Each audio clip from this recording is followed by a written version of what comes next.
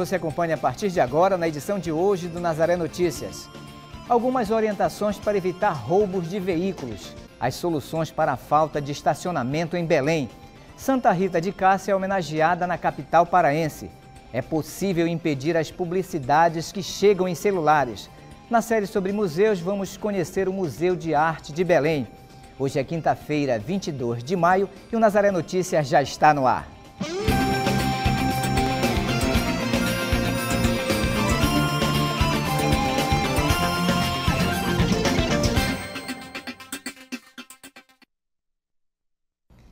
A edição de hoje começa falando sobre segurança no trânsito. Uma das facilidades para o roubo de veículos em Belém é a distração do condutor. A Polícia Civil dá algumas orientações para evitar esse crime e também disponibiliza para o cidadão um aplicativo que informa sobre veículos roubados. Falar ao celular, ficar estacionado em lugares pouco movimentados ou fazer outras atividades que tirem a atenção são distrações que podem facilitar a ação de ladrões de carro. Eles contam, principalmente com o descuido da pessoa, da, da vítima. Muitas das vezes é quando é a desatenção no trânsito, é a desatenção é, no caminhar na rua, é a, a desatenção, é, é, ficar dentro de veículo conversando, manuseando papéis ao celular. Isso tudo contribui para uma abordagem de, de um assalto, na ocasião de um assalto. Lugares, ele tem que ver também os, lo, os locais onde ele estaciona. Né? A gente tem que ter, ter cuidado hoje em dia em qualquer lugar. Não existe hoje em Belém um lugar que você possa dizer esse aqui é melhor do que aquele ali. Pode ser em uma ou outra circunstância devido ao policiamento que possa existir. Mas não existe hoje um lugar que a gente possa dizer eu estou -se completamente seguro. Para coibir essa prática, é importante que o condutor se mantenha atento. Se você está, vá para sua casa, né? antes de, de, de, estacionar, antes de entrar, dê uma volta no quarteirão. Né? É, é, é cuidados que a gente deve ter para a nossa segurança. Tá? Estacionar perto de banco, quando sair de banco, estacionamentos também, né? Qualquer via pública, qualquer tipo de comércio, é, banco, loja, supermercado, tudo hoje em dia, quando a gente estacionar, até mesmo acionar do alarme do seu veículo, cuidado. Muitas das vezes a pessoa sai né, e de longe ela aciona o alarme, mas tem dispositivos já que podem destravar o alarme dela. Se tiver um, uma pessoa esperta, e isso acontece, espertos há em todo mundo, em todo lugar, que acione junto com ela. Então ela tem que ter cuidado nesse sentido. Para aumentar a segurança das pessoas, está disponível o aplicativo Sinesp Cidadão, que permite consultar informações de veículos roubados ou furtados. Você pode checar através desse aplicativo tanto veículos como também pessoas, desde que possuam pessoas no caso de mandado de prisão, desde que possua o nome correto e pelo menos um dado da filiação, um dado que identifique que a é, é, identifique, que a individualize de, das demais pessoas. Aí você, se for preso, se tiver uma pessoa, um nome que, que queira é, tenha um passado criminal, que seja foragido da justiça, por este aplicativo você vai saber se ele é foragido ou não, se ele tem um mandado de prisão ou não. A mesma coisa se trata do veículo pela placa você vai saber a situação do veículo, se ele é roubado, se ele é furtado, se ele está com alguma restrição na base do Detran, né? de, de, de crime, restrição de crime. O aplicativo foi idealizado pela Secretaria Nacional de Segurança Pública e permite ao cidadão o acesso à informação, mas é importante destacar que com a informação em mãos, o cidadão não pode agir por conta própria, deve procurar um profissional especializado. Passe para os canais competentes, se você não tem condições de vir, não quer se expor, nós temos o serviço de 181, que ele é sigiloso, ele não vai é, lhe expor, né? não vai ser revelada a sua identificação, mas a gente vai ter conhecimento da sua denúncia e com certeza vai proceder, porque é um serviço, é uma ferramenta que hoje a polícia tem muito eficiente, muito eficaz. E agora vamos falar de greve.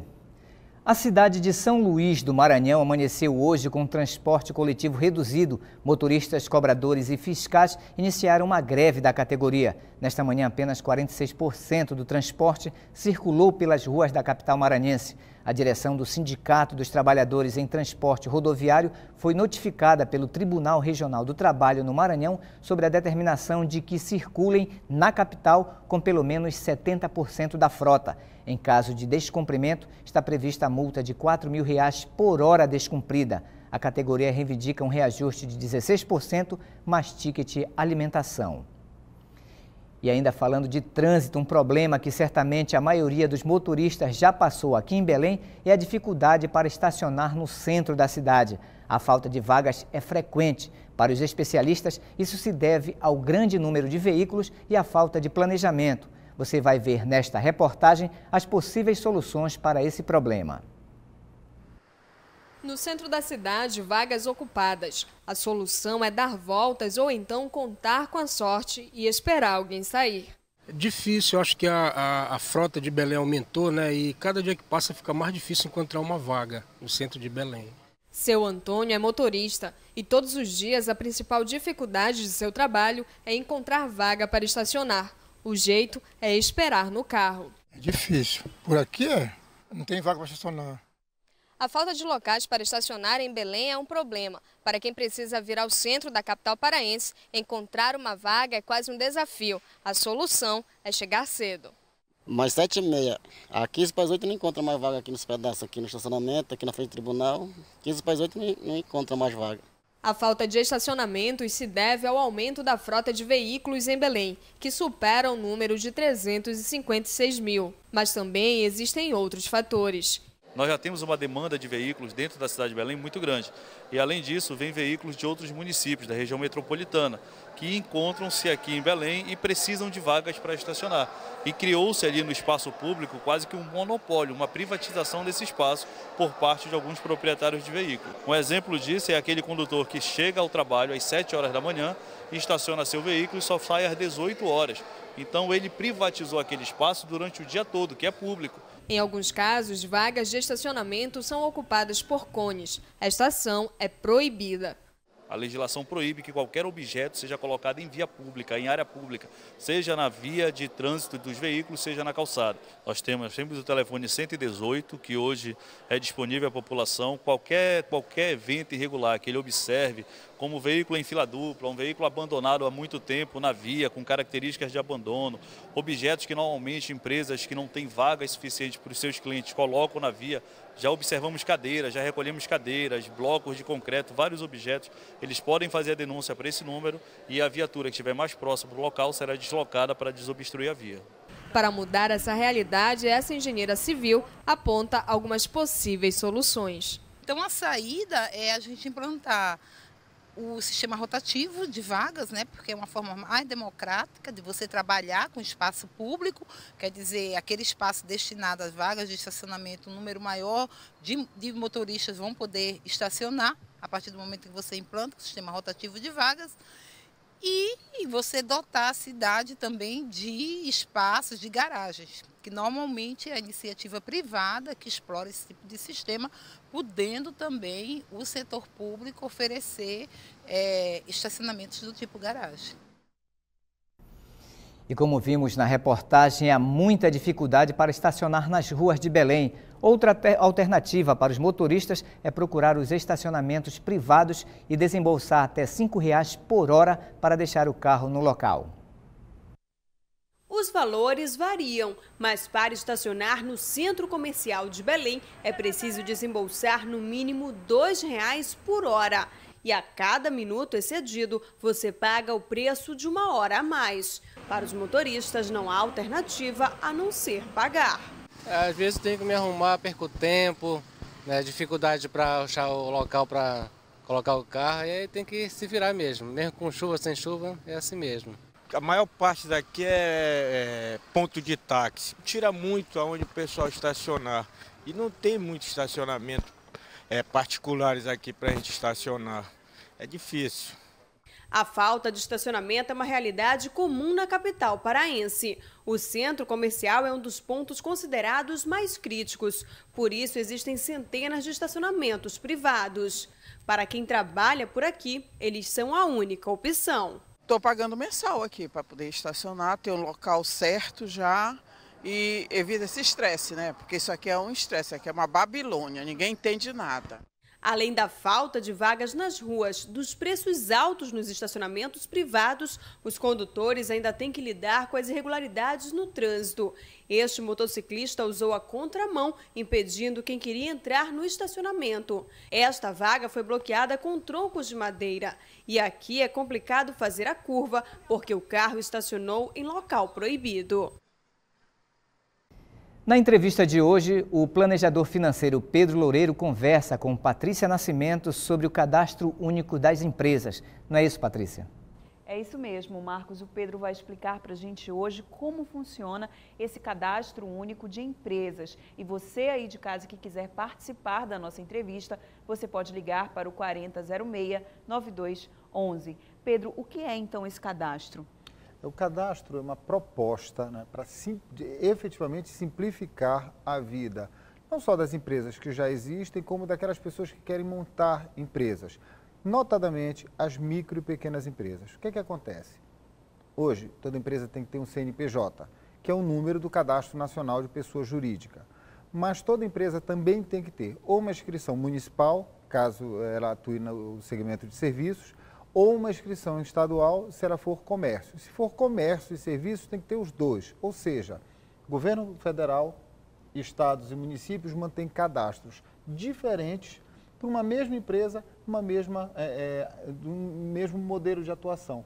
O que é, que é a proposta? A proposta é unificar, ter um número único, né, que seria o número federal, claro, que os estados fariam a adesão e as prefeituras também.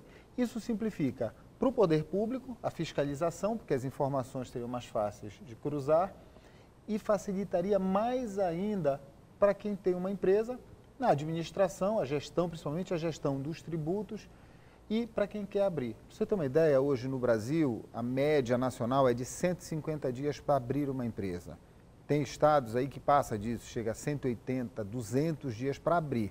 Para fechar, como o próprio eh, Afif Domingos, que é o secretário das, secretário das micro e pequenas empresas do governo federal, ele mesmo diz que é impossível fechar uma empresa. E é quase. Então, é simplificar a vida de todo mundo e, com isso, permitir a inclusão é, das empresas no Simples Nacional. Criar um único Simples, que é aquele programa da tributação, como, como o nome diz, simplificada que ao invés de ter um simples estadual, simples municipal, o simples do governo federal, seria um único programa. Ajudaria então todas as empresas nessa questão do, do pagamento dos impostos? É, imagine é, não só o pagamento, claro, a burocracia, mas o custo que isso gera. E o custo não é só dinheiro. O primeiro custo é tempo. Imagine uma pessoa que tem uma empresa com dois, três funcionários. Ela não tem um departamento financeiro para cuidar disso daí. O que, é que vai acontecer? Aí o dono ou a dona sozinha tem que correr para um lado, vai na prefeitura, fica tomando o tempo produtivo que ele poderia estar pensando o negócio e desenvolvendo mais negócios e fazendo a empresa crescer, gerando empregos. Não, ele está envolto numa burocracia que não leva a lugar nenhum. Sem contar, aí vem o custo financeiro. Imagine uma empresa, essa mesma empresa que tem três funcionários, ela tem que pagar um contador. E o contador vai cobrar no mínimo um salário mínimo, é a média. Para uma empresa pequena, assim, desse porte pesa muito. Então, é para simplificar. E se nós lembrarmos que a grande geração de empregos no Brasil vem das micro e pequenas empresas, são esses daí que a gente tem que ajudar. É, é um programa que faz sentido e inteligentes serão gestores estaduais e municipais que aderirem.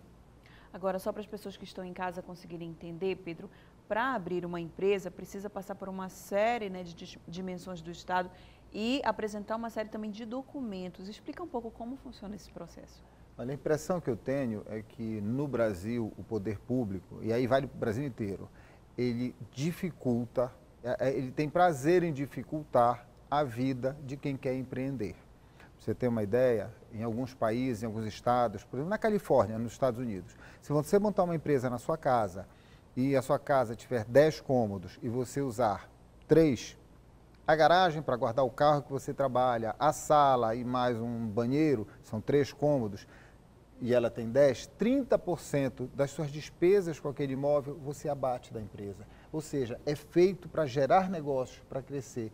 Então a burocracia ela é muito grande. Quem já tentou abrir uma empresa sabe o quanto é difícil e é por isso que nós temos muita gente na informalidade, que as pessoas não conseguem, elas tentam, não conseguem, ou porque chega uma hora que ninguém tem paciência para continuar naquela, naquele sofrimento e às vezes não tem dinheiro. Chega uma hora que a burocracia consome aquele pequeno capital que era para iniciar o negócio. Tá certo, Pedro, muito obrigada. A gente vai continuar conversando no próximo bloco. A gente lembra você de casa que o número para participar aqui conosco é o 40069211. Marcos?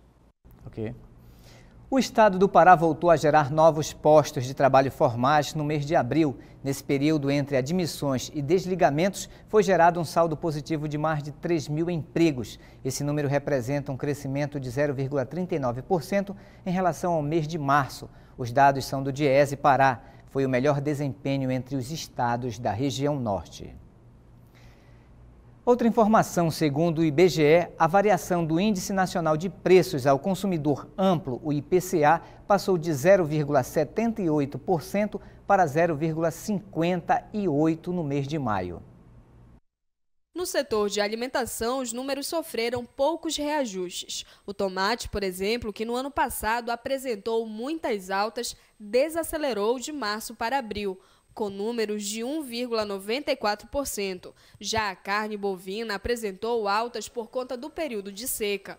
O setor de bebidas teve destaque por conta da Copa do Mundo e teve sua demanda aumentada nos últimos meses. Em relação aos valores dos transportes, o destaque é para a queda dos preços das passagens aéreas. Depois dos preços subirem 26,49% em março, recuaram para 1,87% no mês de abril. De acordo com o IBGE, o grupo de despesas pessoais também registrou taxas menores, como, por exemplo, os serviços de manicure e cabeleireiro. Já o grupo de saúde e cuidados pessoais apresentou taxas maiores em relação a março, com alta de 1,84% devido ao aumento nos preços dos remédios. Representantes do Sindicato dos Trabalhadores em Educação Pública do Estado do Pará decidiu entrar em greve a partir da próxima segunda-feira por tempo indeterminado. Os municípios de Ananindeua, Barcarena e Abaitetuba também já aderiram à greve. Em nota, a Secretaria de Educação de Belém informou que a remuneração do professor da educação básica no município é maior do que o piso nacional anunciado pelo Ministério da Educação. O Brasil é um dos países com maior taxa de impostos do planeta. Essa afirmação foi feita com base nos dados do Instituto Brasileiro de Planejamento e Tributação. O brasileiro precisa trabalhar 151 dias para pagar todos os impostos e tributos em 2014, comprometendo 47,33% de sua renda.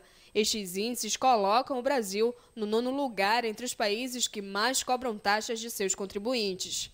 Em relação ao ano passado, o brasileiro precisou trabalhar um dia menos para pagar os impostos. Mas, se for feita uma comparação com os índices de 10 anos atrás, as taxas comprometiam 36,98% da renda do brasileiro, que precisava trabalhar 4 meses e 18 dias para cobrir as despesas com os tributos federais, estaduais e municipais.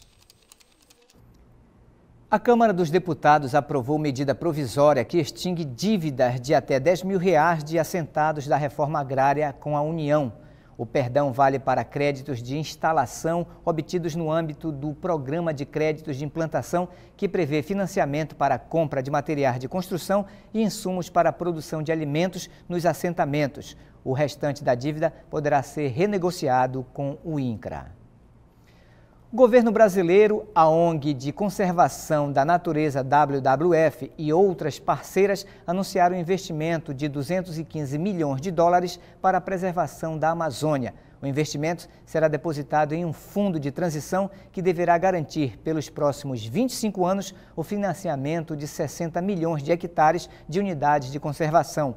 O fundo quer garantir a conservação de mais de 90 áreas protegidas na Amazônia. E você acompanha ainda nesta edição Santa Rita de Cássia, homenageada em Belém. É possível barrar as publicidades que chegam em nossos celulares. Na série sobre os museus de Belém, vamos conhecer o Museu de Arte Sacra. Amanhã será inaugurado o novo terminal hidroviário do Porto de Belém. O local deverá atender cerca de 60 mil pessoas por mês as novas áreas de embarque e desembarque de passageiros contarão com controle de raio-x e scanner para bagagens. O terminal também é dotado de sistema de som e sistema de vigilância com câmeras e telas que anunciam os horários de chegada e saída das embarcações. Os órgãos envolvidos com a regulamentação e fiscalização do transporte naval já estão instalados no terminal. O projeto também conta com estacionamento para 90 veículos. Hoje é dia de Santa Rita de Cássia, uma das, das santas mais populares do Brasil. Ela também é conhecida como a padroeira das causas impossíveis. Nesta manhã, na paróquia de São José de Queluz, em Belém, houve uma programação especial em homenagem à santa. A tradicional procissão das rosas percorreu diversas ruas do bairro de Canudos. Os fiéis caminharam com rosas nas mãos, o símbolo de Santa Rita. Conhecida por ser intercessora das causas impossíveis, a padroeira atrai multidões. Fico muito emocionada. Todo ano eu participo da, da procissão com muita fé, muito amor a Santa Rita, né? Santa Rita, para mim, é o dia de render graças à minha santa intercessora, minha advogada, e de quem eu alcanço sempre muitas graças. Estou aqui não só neste ano, mas toda quinta-feira nas novenas, todo ano dia 22 na missa, na procissão. É o dia de agradecer por tudo que ela me faz durante o ano e durante a vida toda. Para expressar a devoção, os fiéis encontram diversas maneiras. Esta jovem se veste como Santa Rita. É uma promessa já há 12 anos que eu faço, que a minha mãe que fez para mim essa promessa, então estou cumprindo já há 12 anos. Em Belém, a festa em honra a Santa Rita é realizada na paróquia de São José de Queluz, uma tradição desde a década de 60. Santa Rita é agostiniana, da mesma ordem que somos os frades que servimos esta paróquia. A devoção a Santa Rita veio para Canudos em 1960, quando nós assumimos o, o trabalho desta igreja. Eu estava lá na Cidade Velha, era cultuada, a mesma imagem era cultuada na Cidade Velha, é, desde mil, 1899 foi o ano que é, o bispo de, de então deu a, a igrejinha de São João para os frades agostinianos administrarem. E com a vinda para Canudos, trouxeram a devoção, a novena, que toda quinta-feira é, tem. E aqui em Belém, em Belém, a devoção é aqui na igreja de Queluz. A igreja lotada expressa o tamanho da devoção. A devoção pela santa é tanta que a paróquia dedica toda quinta-feira do mês às novenas de Santa Rita, que acontecem sempre às 7 e 10 da manhã, às 4 e meia da tarde e às 19 horas. A história da santa cativa os devotos e principalmente os religiosos. Todo ano eu acompanho a procissão de Santa Rita, né?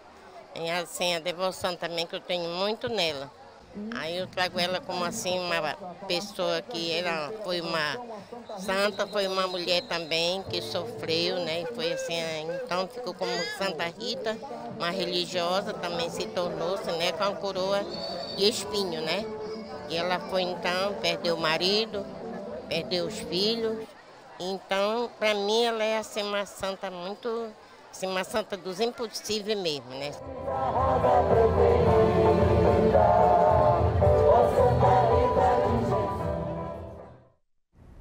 Neste sábado, os membros da Guarda de Nossa Senhora de Nazaré realizará uma ação social para os idosos no Centro Social de Nazaré, próximo à Basílica, em Belém. A ação contará com diversas atividades. Serão disponibilizados os serviços de emissão de documentos, palestras, atendimento médico e assistência social e uma programação cultural para pessoas acima de 60 anos. Mais informações pelo telefone 4009 8400.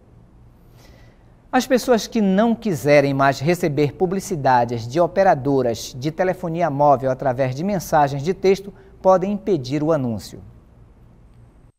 Elas chegam a qualquer hora e têm conteúdos diferentes. São ofertas, sorteios, promoções, são publicidades das operadoras de telefonia móvel, mas elas não agradam os usuários. Dona Márcia recebe diariamente esse tipo de mensagem e ela gera desconforto. Recebo sim, bastante e chega a me incomodar, porque inclusive eu já entrei em contato com algumas operadoras, né, questionando isso. E realmente não tive retorno, inclusive até tem umas é, mensagens de pornô, entendeu? Que vem para meu celular, sendo que eu nunca assinei isso, né? Então eu acho assim um absurdo. Daniel nem mantém as mensagens no celular. O incômodo é tanto que ele as apaga incomoda. Porque, até porque chega uma mensagem só para perder o nosso tempo, né? Que a gente vai olhar, pensa que é uma mensagem que a gente está esperando, mas não é. É só a operadora ver que propaganda falsa, né, pra gente, aí isso incomoda a gente. Você acha justo essa, essa regulamentação da Agência Nacional? Acho. É. Você, como cliente, quer ser avisado, se quer ou não? Com certeza, quero sim. Você apaga suas mensagens? Apago. Paulo Afonso também prefere apagar as mensagens e concorda com as medidas corretivas publicadas pela Agência Nacional de Telecomunicações, que diz que o anúncio só pode ser enviado ao usuário que optou previamente pelo recebimento. Afonso, o senhor recebe esse tipo de mensagem no seu telefone? Recebo, recebo. Isso lhe incomoda? Incomoda bastante. O senhor acha justo que as operadoras é, primeiro perguntem ao cliente se querem ou não receber essa mensagem? Eu acho que deveria fazer isso, todos os clientes.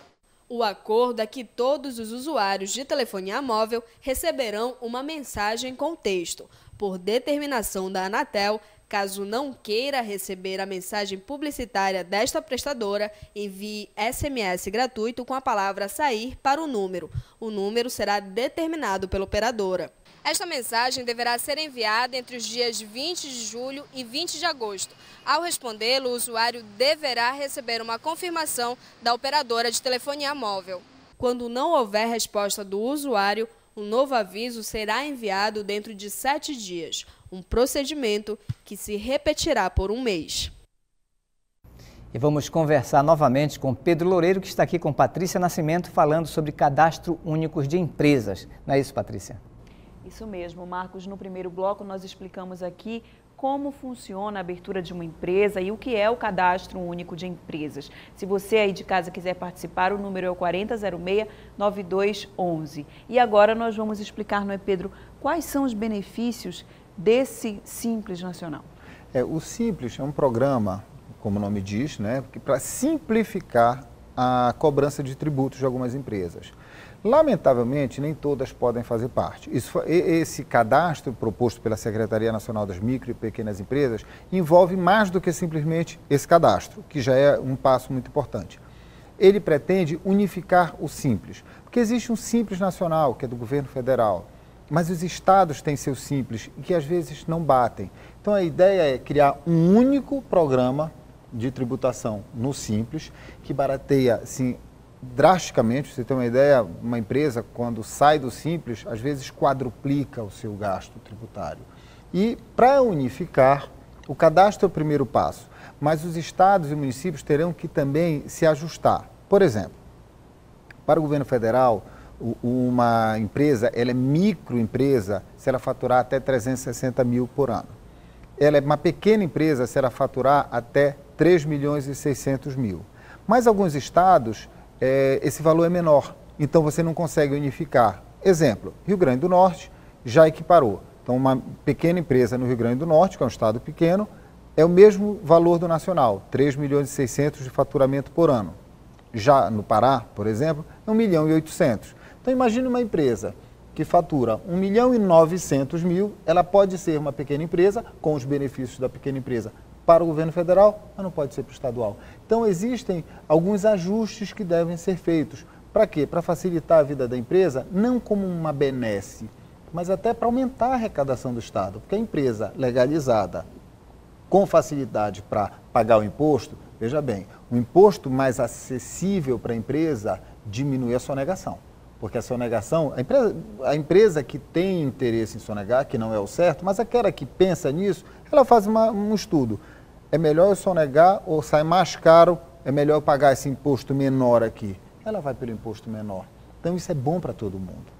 Então, estar enquadrado no simples ou sair desse, dessa categoria está relacionado ao, à questão da proporcionalidade do que se produz também na empresa, né? De quanto se fatura. Isso, Isso também o próprio empresário deve avaliar, né? Essa relação. Ele tem que avaliar. Por quê? Vamos, vamos imaginar um exemplo, como o nome diz, simples. Uma empresa que fatura por ano, historicamente, 3 milhões 550 mil.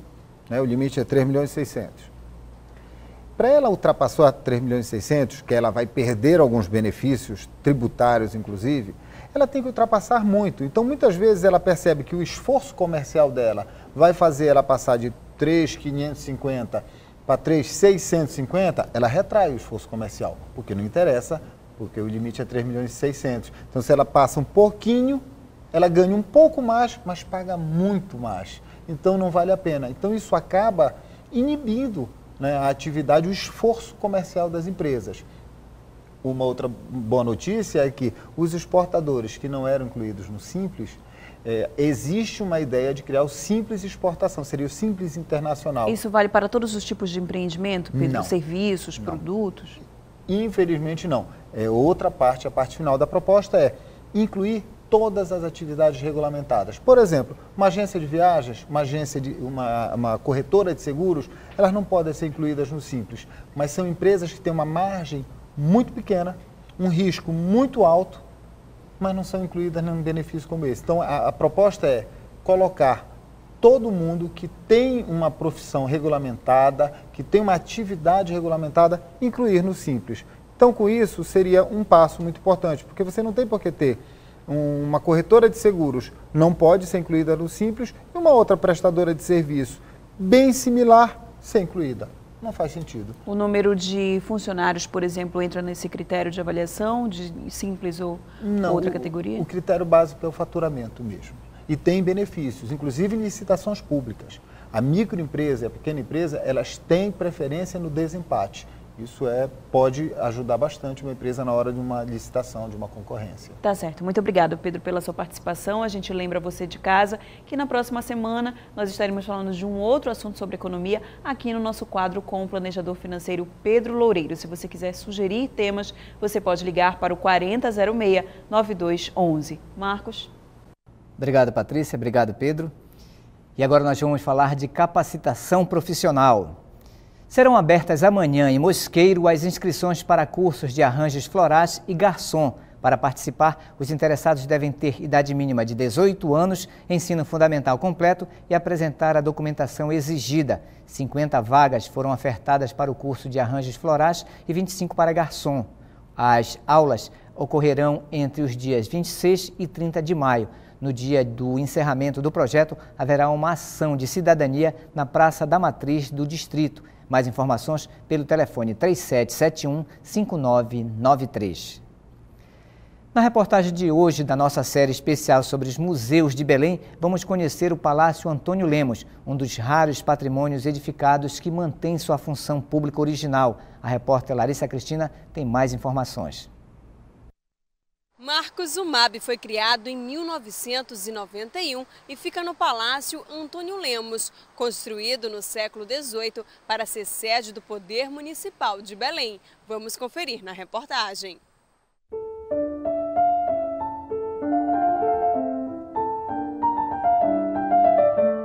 Localizado no bairro da Cidade Velha, no centro histórico da capital paraense, entre as praças Felipe Patrone e Dom Pedro II, o palácio é tombado pelas esferas federal, estadual e municipal. Hoje é um dos raros patrimônios edificados que mantém sua função pública original. O Palácio Antônio Lemos foi construído no século XIX para ser a sede do poder municipal.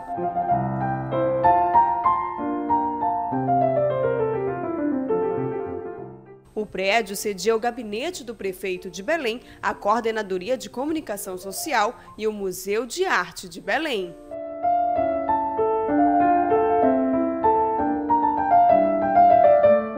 As coleções vieram da Pinacoteca Municipal e do próprio museu criado em 1991. São obras europeias e brasileiras que referem o período áureo da borracha, com peças do mobiliário brasileiro, objetos de interior e esculturas. As salas para exposições homenageiam artistas que possuem obras no museu. No MAB ainda encontramos o Auditório para a Solenidade, uma biblioteca especializada em artes visuais e ação educativa.